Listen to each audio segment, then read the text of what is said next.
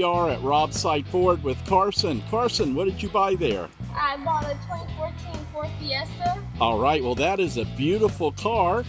And let me ask you, Carson, how did you end up at Rob Sight Ford? Um, you came in, and I was looking for a car. Right. Yeah. Yeah, you work at the Sprint store right by us, right? Yep, right on 131st and State Line. Well, if you need a Sprint phone, go see Carson and she'll take care of you. And uh, Carson, we want to thank you so much for your business and congratulations on your new car. Thank you. Talk to you later. Yeah.